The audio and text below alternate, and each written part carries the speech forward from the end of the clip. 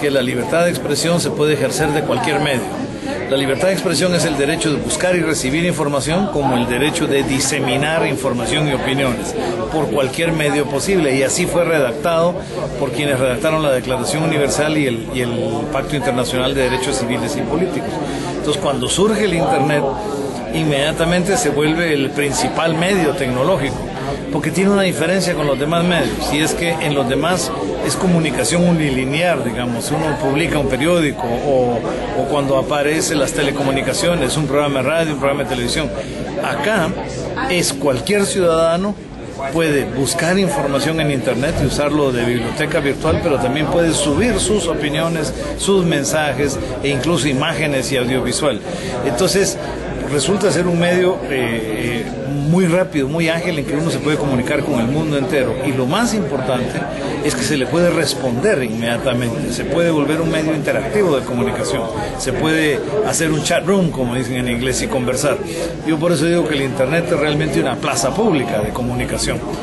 Ahora, esto tiene sus grandes ventajas, pero también grandes temores que generan los gobiernos, que es lo que digo en mi informe. La gran ventaja es que es un salto enorme en la libertad de expresión y de participación ciudadana y construcción de la democracia, como lo, nos lo demostró Túnez y Egipto en el norte de África. Pero al mismo tiempo los políticos son más sensibles, entonces hay mucho más tentación en limitar el uso del Internet y empezar a aplicar eh, más censura. Hay muchas leyes antiguas que existían como la difamación, pero que están resurgiendo en su uso. Muchos funcionarios que aplican difamación contra medios, medios escritos también, pero contra bloggers en Internet que están presos por haber externado su, su opinión o una crítica o un disenso o la oposición democrática a un partido o a un gobierno. Entonces me parece a mí que hay que despenalizar. Hay crímenes nuevos. Eh, en mi propio país, Guatemala, se inventaron un delito que es el de pánico financiero. Cualquiera que critique el sistema financiero de un banco puede ser penado por ley. Esto es ridículo. Si los bancos deben ser criticados. Si fueran más criticados no estaríamos en la crisis financiera mundial si alguien hubiera criticado a Wall Street a tiempo, ¿no?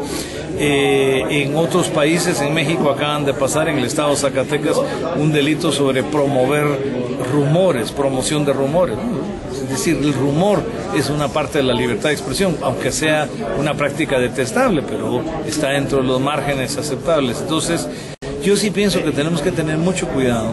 Creo que hay prohibiciones legítimas, las hay, porque el problema del, del crimen organizado, el narcotráfico es real, especialmente para América Latina, igual que el terrorismo es un fenómeno real en el mundo, especialmente para el mundo desarrollado, y enfrentarlo y brindar seguridad a los ciudadanos es una obligación del Estado. Pero las limitaciones a la libertad de expresión tienen que estar establecidas en ley previa, muy calificada, muy determinada, sin ambigüedades y con un procedimiento de aplicación muy claro.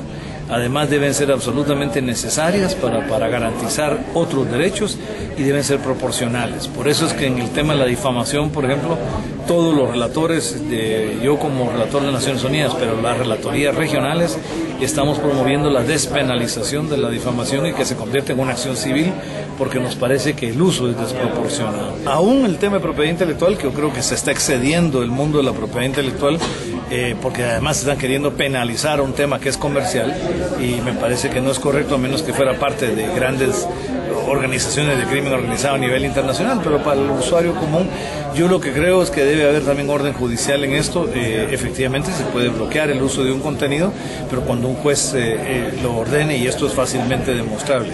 Entonces me parece a mí que hay que hacer un balance entre los derechos de propiedad intelectual y los derechos de los usuarios en materia de libertad de, expresión.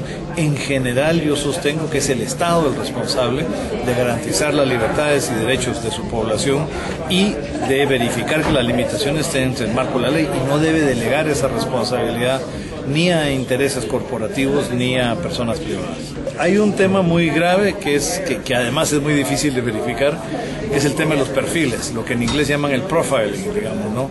Eh, nos da la impresión de que hay quienes ya están haciendo perfiles de las personas. Por ejemplo, eh, desde la violación un poco al derecho a la privacidad, digamos, toda la información que uno pone en Internet, quién la acumula, dónde se guarda, qué hacen con ella, si se está vendiendo o se está entregando a los estados, si hay un monitoreo de la persona o no, sin avisarle, porque si por lo menos en algunas empresas ya hay la política de poner un aviso, su información fue requerida por juez o por las autoridades de seguridad.